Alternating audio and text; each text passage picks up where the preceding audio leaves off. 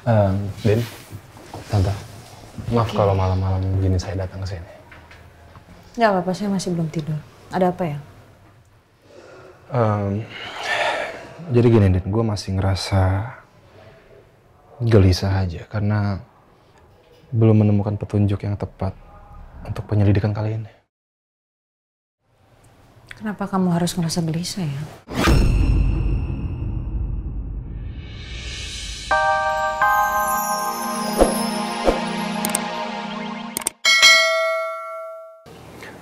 Iya dek, kakak minta tolong sama kamu, kamu jangan banyak pikiran ya.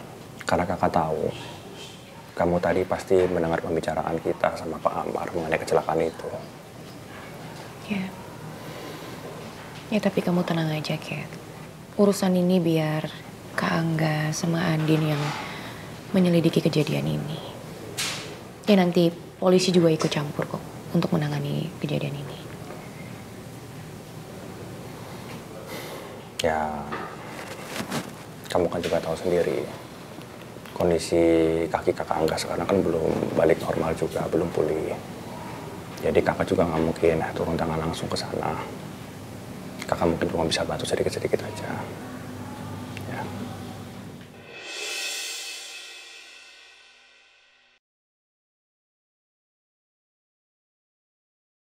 HP kak, handphone aku, tolong bawa ke sini.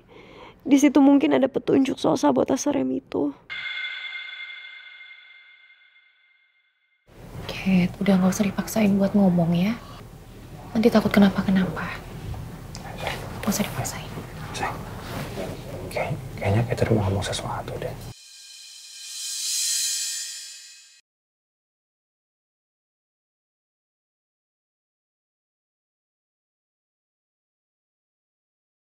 Ya tapi nggak usah dipaksain, takut kenapa-kenapa.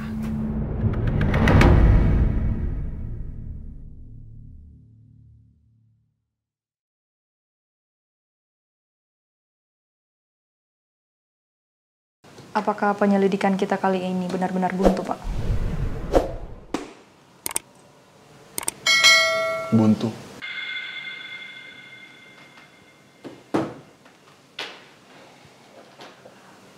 Saya tidak pernah mengenal kata buntu di dalam kasus yang lagi saya tangani.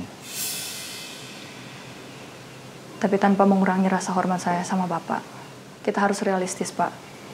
Kita hanya mengandalkan satu petunjuk saja. Realistis gimana? Ya, apa kita akan berpegang hanya pada satu petunjuk saja, Pak? Kamu baru kemarin bekerja sama saya. Bukan begitu, Pak. Saya pikir kamu sudah mengenal saya lebih dalam.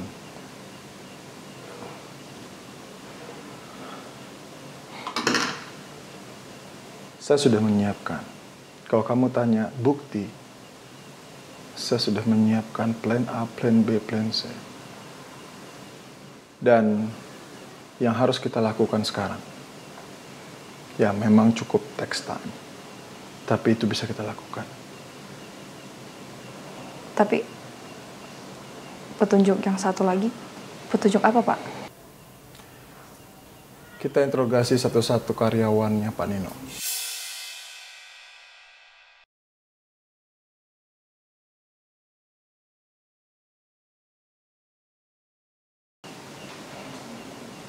Interogasi.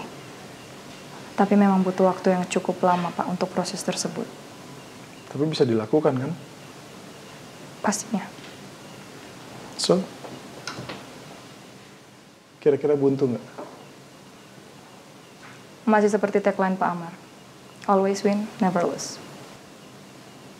Sekarang kamu tahu.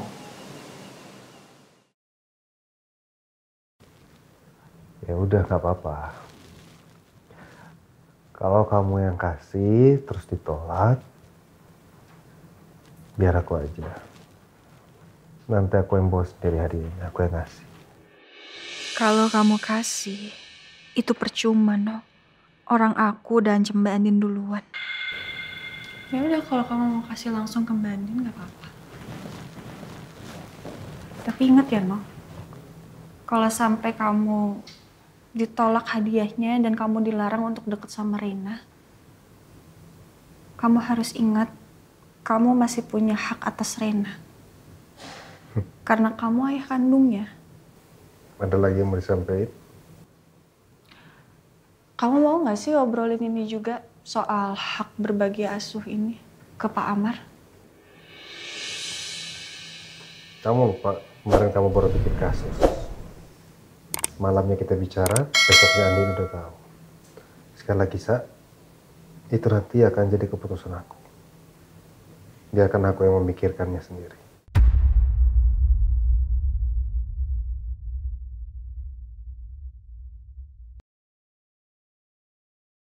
Atau kamu mau nggak aku yang ngomong langsung ke Rena kalau kamu papa kandungnya?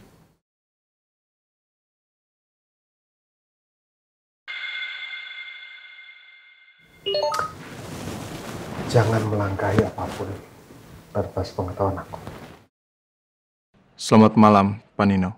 Setelah saya pikir, saya memiliki cara lain untuk mendapatkan petunjuk, yaitu dengan cara mewawancarai satu persatu karyawan Bapak.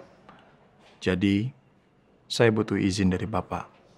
Apa boleh saya melakukan wawancara ke karyawan Pak Nino?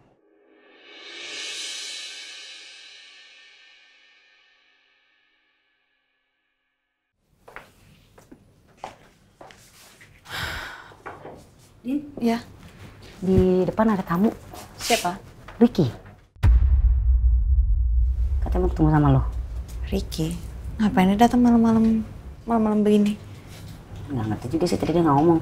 Apa gue bilang sama dia besok aja lo istirahat.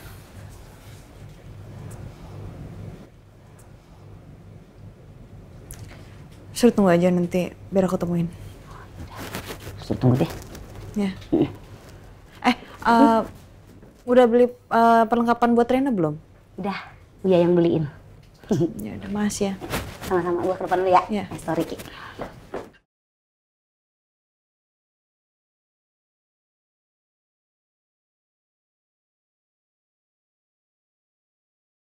Gue nggak akan bisa tenang sebelum gue tahu petunjuk yang dimaksud sama Andin Pak Amar. Eh, ditunggu sebentar ya mas ya. Andinnya bentar lagi keluar kok. Oh iya, makasih ya. Iya sama-sama.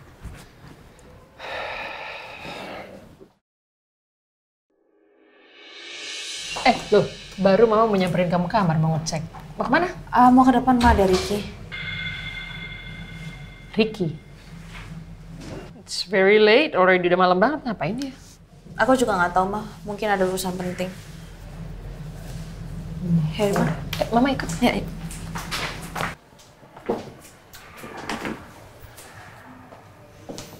Ehm, Din, Tante, maaf kalau malam-malam gini saya datang ke sini. Nggak apa-apa, saya masih belum tidur. Ada apa ya? Ehm, jadi gini, Din, gue masih ngerasa gelisah aja karena belum menemukan petunjuk yang tepat untuk penyelidikan kali ini. Kenapa kamu harus ngerasa gelisah ya?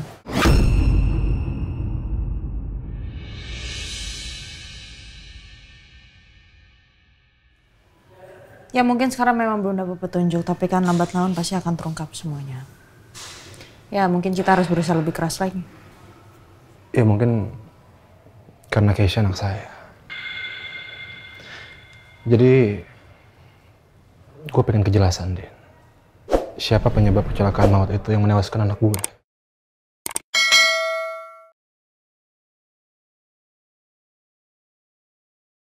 Oh my God.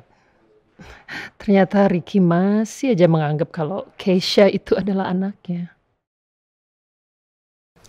Nggak cuma kamu aja, Ricky. Ini kan ada sangkut pautnya sama saya. Dan saya pun juga penasaran siapa. Ya, Mama saran sih sebenarnya ya, Andin. Kalian juga ikut menyelidiki, tapi ya harus sejalan dengan apa yang sedang dilakukan oleh polisi. Karena kan polisi pasti juga bergerak. Iya. Ya kita sama-sama lama. Kalau misalnya aku dapat informasi atau apa, aku juga pasti bakal kasih tahu ke polisi. Tapi untuk saat ini kan memang belum menemukan apa-apa. Jadi kira-kira langkah apa yang bakal kita lakukan, Din? Ada ide? Eh, kalau gue sih masih belum ada ide sih. Kalau lo gimana, Din? Saya sih penasaran ya. Saya pengen nanya sama karyawannya Nino, semuanya. Bagaimana?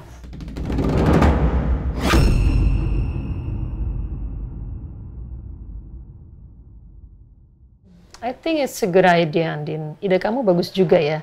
Jadi lihat CCTV sudah dan ada bagusnya memang kalian tanya ke karyawannya Nino satu persatu. Kali-kali aja ada yang melihat petunjuk yang kalian tidak lihat. Good point.